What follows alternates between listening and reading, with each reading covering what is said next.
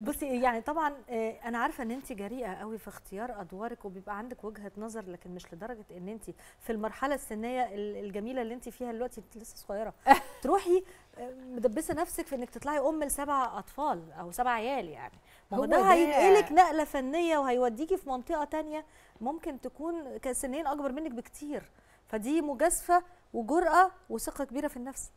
أشكرِك. بُصّي، آآ لو أنا بصّيت ليّا كفنانة إن سِنًا وشكلًا وجمالًا وبتاع، يبقى أنا مش فنانة حقيقية. إمم.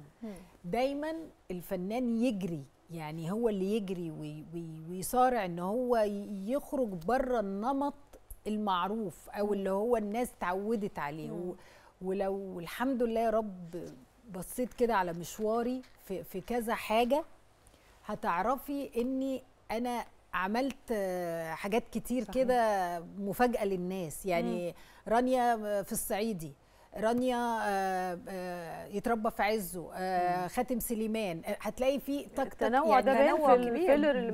مجمّع عنِّك إمم. يعني إيه ده؟ آه، دي يعني أنا في سن باحب صغير ده كده ده. إيه، يعني منى مش متخيلاني إمم. أعمل الدور ده، آه. فلأ هاعمله وهانجح، يعني أم العيال دي أنا م على يقين 7 عيال. إن كانوا 8 والمخرجة قلّلت.